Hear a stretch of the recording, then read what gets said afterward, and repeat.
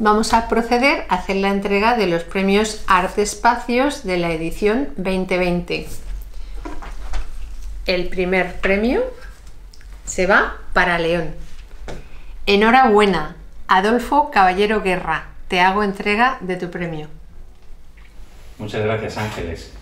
No sabes la ilusión que nos hizo ya estar seleccionados, así que recibir el premio es maravilloso.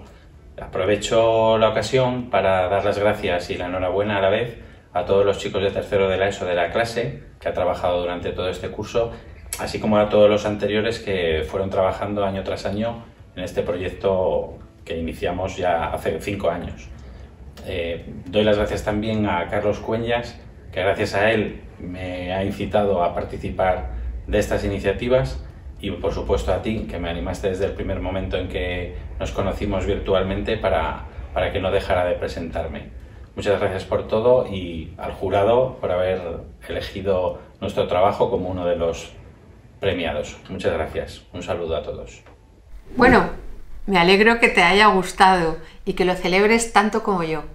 Vamos a proceder a la entrega del segundo premio que va a irse para Pontevedra a mi amiga Luz Veloso, amiga de todos, generosa compañera que comparte todo a través de la red. Ya la conocéis. Esto es para ti, Luz. Disfrútalo. Muchísimas gracias Ángeles por este reconocimiento. Muchísimas gracias a ti por tu trabajo, por ilusionarnos y por motivarnos y por poner en valor eh, el trabajo del artista docente y la presencia del arte en la educación. Muchas gracias. Eh, también muchas gracias porque bueno, para mí es un, orgullo estar entre los premiados en, este concurso de arte espacios. Eh, le quiero dedicar este premio a mi alumnado de dibujo artístico porque ellos fueron los que crearon el arte espacio. Y el reto precisamente este año consistía en eso, en buscar un espacio para poder exponer. El centro del Lies María Soliño, que es un bachillerato de artes, eh, las paredes están repletas de trabajos de alumnos de, otros años y no encontramos un huequito para poder hacer una exposición, así que decidimos exponer por el aire. La idea es seguir exponiendo y eh, crear un espacio itinerante para que el alumnado presente pueda eh, exponer su trabajo periódicamente. Un trocito también de este premio es para el alumnado pasado, para el alumnado de Iglesias Barcias, que durante varios años ha presentado conmigo a este concurso, y para Pilo, que también ha trabajado conmigo en crear eh, un espacio de arte contemporáneo en Iglesias Barcias y lo conseguimos. Entonces, un trocito de este premio también va para allí. Muchísimas gracias. Bueno, cómo me ha gustado lo que nos cuentas. Muchas gracias. Vamos a pasar ahora a hacer la entrega del tercer premio que se va para Cáceres y que va a ser compartido por dos profesoras de literatura maravillosas, que son Noelia Álvarez y María del Puerto Paz. Se lo mando a María del Puerto eh, deseando por favor que se lo haga pasar y llegar a su amiga Noelia. Noelia, te llegará. Esto va para María del Puerto. ¿Qué me iba a decir a mí que iba a tener en mis manos el Premio Arte Espacio 2020? Me gustaría aprovechar la ocasión para hacer dos agradecimientos. Uno a los alumnos, profesores y personal no docente de Lija Gustóbriga que participaron en el desarrollo del proyecto Vivienda Cervantes y su Mundo por el que hemos recibido este premio.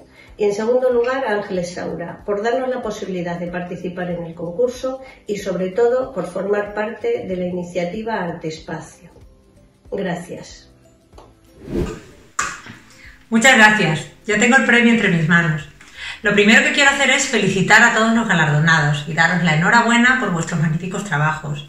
He de decir que me siento muy orgullosa de recibir este premio, porque esto supone que nuestro proyecto Viviendo Cervantes y su Mundo y nuestro centro Elías Augusto Briga forme parte de la exposición Arte Espacio 2020, lo que dará lugar a que sea conocido y difundido en diferentes lugares del mundo. Además, quiero dedicárselo a mis alumnos de primero de bachillerato, que ahora están en segundo, y con los que hice el proyecto, por su entusiasmo, por sus ganas de trabajar y de mejorar, y por demostrarnos a todos que se puede aprender la literatura de una forma diferente.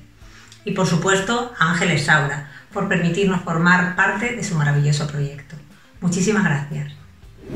Muy bien, cuánto me ha gustado oíros, es fantástico. eh, voy a hacer la entrega del último premio eh, en España, que es para Sevilla, este se va para Sevilla, para Angustias Chía. Magnífico trabajo.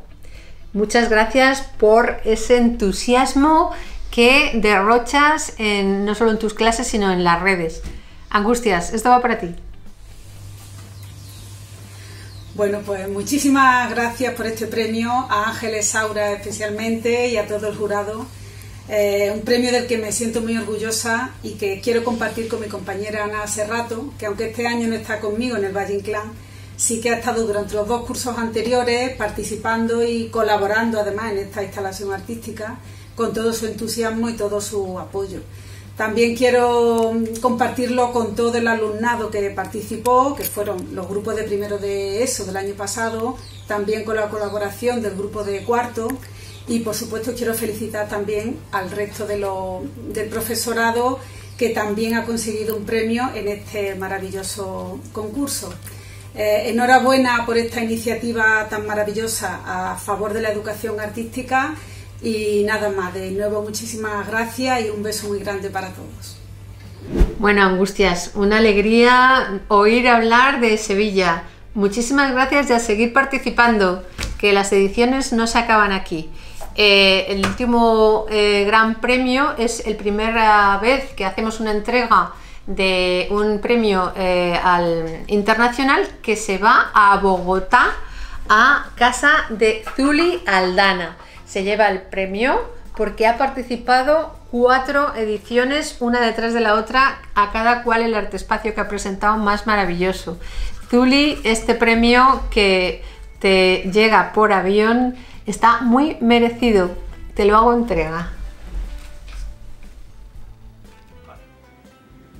Es un honor para mí recibir por primera vez este premio aquí en la ciudad de Bogotá desde España ha llegado aquí, hasta mi casa. En primer lugar, le quiero agradecer por ese gran entusiasmo de los estudiantes del Colegio Distrital Eladia Mejía que han participado en cada uno de los artespacios que hemos realizado en estos cuatro años. Los niños, los jóvenes, los directivos, todo el personal que hace parte de la secundaria reconocen nuevos espacios para la expresión artística, tanto individual como colectiva, de lo que hacemos en el Salón de Artes. En segundo lugar, le quiero agradecer a su directora, a Ángeles Saura, a su equipo de trabajo por este espacio, por este proyecto, por este gran propósito que nos invita a fortalecer el arte y la cultura visual, desde lo más sencillo a lo más complejo a todo nivel. Y qué mejor manera de seguir celebrando la Semana Internacional de la Educación Artística en este año 2020. Muchas gracias. Zuli, nos vemos pronto. Ya pasaste por Madrid y fue maravilloso conocerte. Eh, sigue así mm, contagiando ese entusiasmo y tu buen hacer como profesora. Gracias.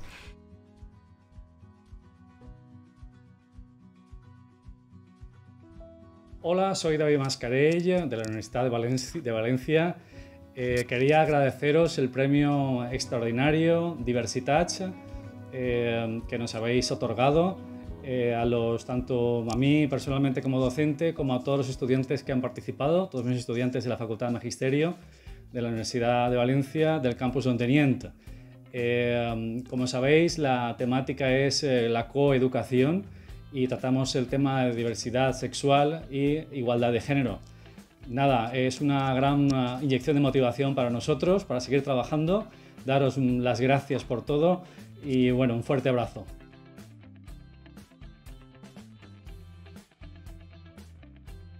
Mi nombre es Natalia Molina de la Villa y esto es un vídeo agradecimiento porque, por haber, porque he recibido el premio eh, Arte Espacios de Aula. Muchas gracias en primer lugar a Aula por elegir el proyecto de invernadero de colores como proyecto seleccionado. Eh, el papel del arte es muy, muy importante en la vida de todos, pero en especial en la vida de los centros educativos y Arte Espacios, en definitiva, lo que estás promoviendo iniciativas que se realizan de arte y que ocupan espacios en el entorno educativo. Así que muchas gracias también.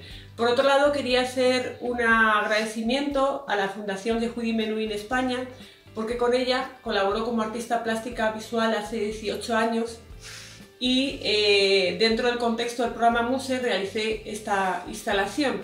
Por cierto, que la Fundación este, acaba de cumplir 20 años trabajando por el arte y la inclusión en España. Así que felicidades también. Eh, otro a quien también quería darle las gracias pues a todos los participantes, a los artistas que han hecho esta, esta instalación con su obra, que han sido los eh, alumnos y las alumnas de infantil 3 años, infantil 4 años, infantil 5 años, primero y segundo del colegio CEIP eh, Federico García Lorca de Leganés. Los artistas más mayores, los grandes artistas han sido pequeños artistas en este caso, estuvimos haciendo una experimentación sensorial sobre el color, sobre las formas, sobre la luz y con todas esas producciones hicimos finalmente lo que fue la instalación que montaron con los trabajos de todos los grupos, el grupo de segundo, que eran los más mayores de todos, y la montaron como consideraron que era más interesante. Eh, pues poco más queda que decir que es un honor de nuevo haber recibido este premio, que muchas gracias y que espero que, siga habiendo muchos espacios y muchos eh, espacios y lugares para el arte en la educación, y en la vida de todos nosotros. Gracias. Gracias. Y gracias a todos, gracias a Federico Mayor Zaragoza, que nos ha dicho estas palabras iniciales para la inauguración de la jornada de educación artística eh, y haciendo mención de estos premios que hemos entregado. espero que los disfrutéis.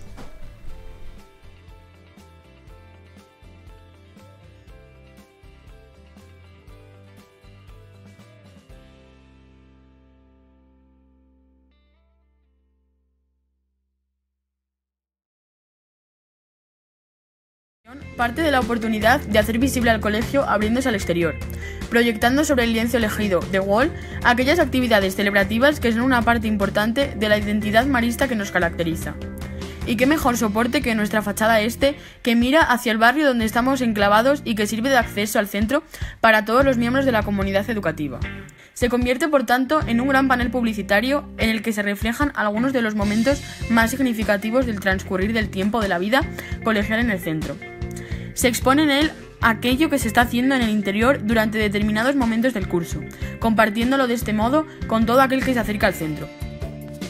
La base del trabajo se plantea desde el área de plástica y visual, y se dirige a los alumnos de secundaria del curso más alto de los que la cursan, concretamente en el presente curso tercero de la ESO, dada la experiencia que ya han ido acumulando durante las etapas anteriores, que les confiere cierto grado de madurez, la cual les será necesaria para afrontar el reto de enfrentarse a un soporte de gran tamaño, a la vez que la responsabilidad de exponer públicamente cada una de las intervenciones, que será ineludiblemente sometida a juicio, unido todo ello a la propia actividad frenética de montar y desmontar cada cierto tiempo el fruto de su creación por medio de un trazo limpio realizado con cinta de papel adhesivo, se plasman sobre el muro los diseños previamente tratados, trabajados y dispuestos en el aula sobre el borrador de papel como estudio del tema a tratar, así como su contenido y momento elegido para el evento, transformándolos de esta manera en láminas o lienzos de gran formato. La exposición a la intemperie, el material utilizado así como el soporte en sí y el propio tema tratado le confieren esa condición de fugacidad algo perecedero que, de prolongarse en el tiempo, deja de tener el significado para el que se creó, y por tanto pierde su sentido, lo cual obliga a su continua transformación of performance, o simplemente a su desmantelamiento. Esta intervención del espacio educativo es, por tanto, una actuación efímera sobre un soporte fijo existente en el que a través del currículo de este área se trabajan conceptos como la propia idea, la imagen, la proporción, el lenguaje visual, el arte urbano, el marketing y la publicidad, y todo ello con un doble fin, el del propio aprendizaje, la adquisición y el manejo de conceptos propiamente curriculares, así como el de interactuar con el entorno, a la vez que colateralmente adorna, dignifica y da utilidad a uno de los muchos espacios de los que dispone el centro para otro fin que aquel para el que fue creado, como elemento meramente constructivo de cerramiento de este lateral del edificio. En definitiva, podemos afirmar que este proyecto de trabajo cooperativo se utiliza como una fortaleza intrínseca a nuestro sistema educativo, la de hacer al niño y al joven protagonistas de su propio aprendizaje,